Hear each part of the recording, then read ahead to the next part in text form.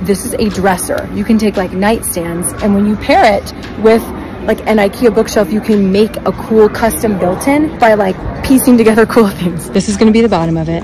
Then we've got the counter. Then we've got IKEA shelves. It's like playing Tetris with furniture pieces.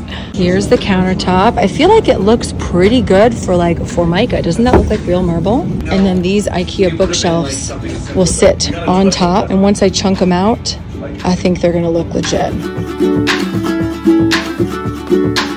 Okay, so now these dressers are in. We got the bookshelf, bookshelf. And to make this look totally built in, we're gonna add like a toe kick, countertop, and it's like you're gonna have never known that this was a dresser. To attach these, we screwed them together to make sure that they're not gonna move. And then we also screw them into the studs, just kind of like you would a cabinet, and now they're not going anywhere.